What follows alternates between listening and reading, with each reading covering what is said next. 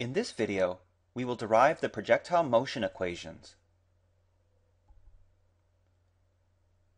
Let's say an object is traveling through space and there's a gravitational field that is pointed downward. At time t naught, which we will set to 0 seconds, the object has an initial velocity of v naught. Now let's set up our axes. The positive direction for the y-axis points upward, which is the opposite direction of the gravitational acceleration vector, g. The x-axis is perpendicular to the y-axis, and its positive direction points to the right. The object is initially located at a point x naught, y naught. At some future time t, the object will be at a new position, xy, and will have a new velocity, v. We want to predict the x and y components of the velocity, which we will call vx and vy, at some future time t. We also want to predict the x and y coordinates of the object at some future time t. We start with the equation for the acceleration in the x direction, which we will call ax. This is equal to the time rate of change of vx, which is written as dvx dt. Let's rearrange the expression to isolate dvx. Then integrate ax dt from the initial time, which is 0 seconds, to the final time t. dvx is integrated from the initial velocity vx naught to the final velocity vx. We can perform a similar set of steps for the acceleration in the y direction, which we will call ay. This is equal to the time rate of change of vy which is written as dvy dt. Let's rearrange the expression to isolate dvy, then integrate ay dt from the initial time, which is again 0 seconds, to the final time t. dvy is integrated from the initial velocity vy naught to the final velocity vy. As we will see, the integrals on the left-hand side of the equations are easy to solve, but we will need to know the expressions for ax and ay before we can solve the integrals on the right-hand side of the equations. We now are going to make some simplifications to the problem, which will allow us to obtain expressions for ax and ay that make the integral on the right-hand side of the equations very easy to solve as well. First, we will assume there is no air friction. This means that we will not account for drag, which would decelerate the object. This assumption is okay if the object does not travel very fast, is very heavy, or if the air density is very low. Second, we will assume that the gravitational acceleration vector always points downward in the negative y direction and has a constant value of negative 9.81 meters per second squared. This assumption is okay if the object does not travel very high from the surface of the Earth. Finally, we will assume that the Earth is flat and does not rotate. This assumption is okay if the object does not travel very far in the x direction. Using these three simplifications results in ax being equal to 0 and ay being equal to the gravitational acceleration g. Let's plug in ax and ay into the two equations above. For the left equation, the integral of dvx is vx, and the integral of 0 times dt is 0. Evaluating vx from the initial velocity to the final velocity gives vx minus vx naught, which is equal to 0. After rearranging the equation, we are left with vx is equal to vx naught. This means that the x component of the velocity is constant in time. For the right equation, g is constant and can be pulled out of the integral. The integral of dvy is vy, and the integral of dt is t.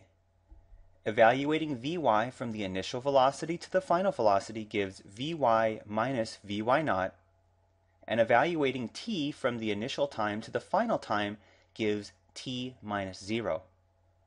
After rearranging the equations, we are left with Vy is equal to Vy naught plus g times t. This means that the y component of the velocity decreases with time since g is negative. Some people prefer to use positive 9.81 meters per second squared as the value of g instead of negative 9.81 meters per second squared. If that is the case, then the equation for Vy would be Vy naught minus g times t. You can use either equation as long as you are consistent with your signs. Now let's derive the equations for the x and y coordinates of the object at time t. We start with the equation for the velocity in the x direction, vx. This is equal to the time rate of change of x, which is written as dx dt. Let's rearrange the equation to isolate dx and integrate vx dt from the initial time, which is 0 seconds, to the final time t dx is integrated from the initial position x naught to the final position x. We previously found that vx is equal to vx naught, and we can pull vx naught out of the integral because it is constant. The integral of dx is x, and the integral of dt is t. Evaluating x from the initial position to the final position gives x minus x naught and evaluating t from the initial time to the final time gives t minus 0. After rearranging the equation, we are left with x is equal to x naught plus vx naught times t. This means that the x-coordinate of the object can change in time. If vx naught is greater than 0, the object will move in the positive x direction. If vx naught is less than 0, the object will move in the negative x direction, and if Vx naught is equal to 0, the x-coordinate will not change in time. We can perform a similar set of steps for the velocity in the y direction, Vy. Vy is equal to the time rate of change of y, which is written as dy dt. Let's rearrange the equation to isolate dy and integrate Vy dt from the initial time, which is 0 seconds, to the final time t dy is integrated from the initial position y naught to the final position y.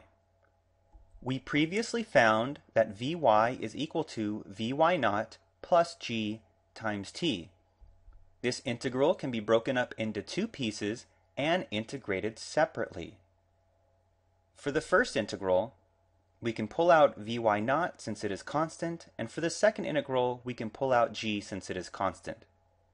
The integral of dy is y, and the integral of t times dt is t squared divided by 2.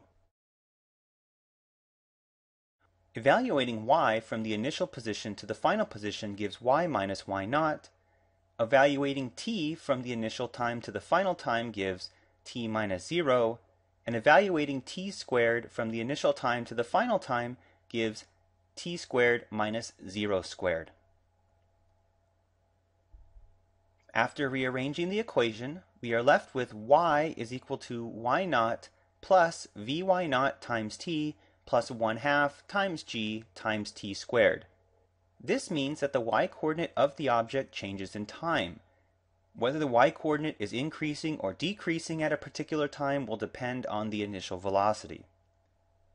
If we had assumed that the value of g is positive 9.81 meters per second squared instead of negative 9.81 meters per second squared, the expression for y would be y naught plus vy naught times t minus 1 half g times t squared.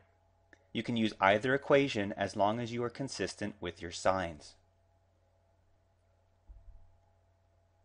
We can determine the shape of the path taken by the object by eliminating t between the equations for x and y.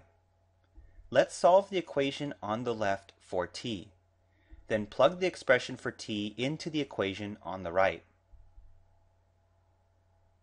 The resulting equation describes a parabola.